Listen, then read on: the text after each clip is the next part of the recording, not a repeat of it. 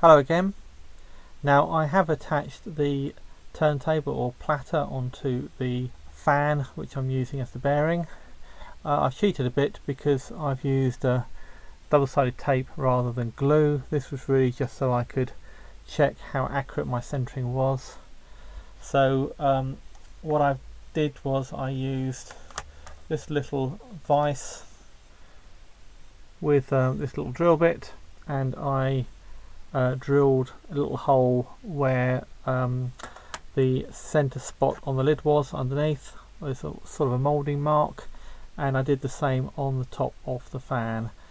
And uh, and then before pushing them together using the, the uh, shank of the drill bit through the hole to line them up um, I there we are like that I attached some double-sided sticky tape um, to the top of the fan. So um, it's attached. It's it's not bad. It's not spot on perfect, but it's not bad. Um, you can see there's a slight wobble in it. I mean that's more to do with the fact that it's a fairly thin piece of plastic rather than a nice piece of die cast aluminium like you'd rather like it to be. So um, but as long as the um, edge is not moving too much then there shouldn't be too much trouble getting the uh, getting the motor to actually drive against it. Um, and then we really are in with a shot of getting this to work. Because to be honest the uh, tone tone arm and the cartridge and the wiring for that um, is really a separate thing. It, it doesn't rely on the accuracy of this really at all. Um, it just sits on top.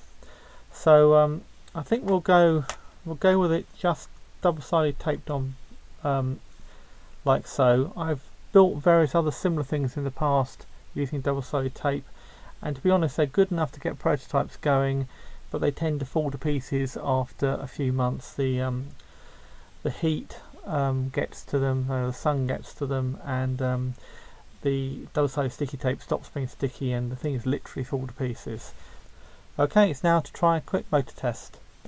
So we turn the power on and we put this against the rim, so this effectively is a step down to turn the high-speed DC motor into something much more like 45 RPM, which is what we're looking for.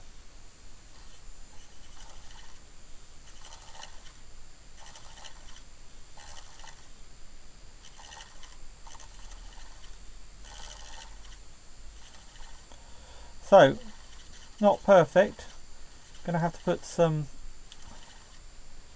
padding, I think, maybe some heat shrink on the um, shaft of the motor and probably also mount the motor so that it's a little bit of weight, a little bit of pressure against the uh, turntable like that.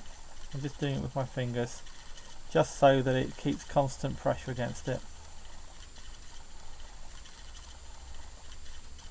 That's somewhere in the right ballpark. That's going around somewhere in the region of about um, 60 RPM. So I think we can probably manage to get 45 RPM out of it with a little bit of trouble or a little bit of um, tinkering.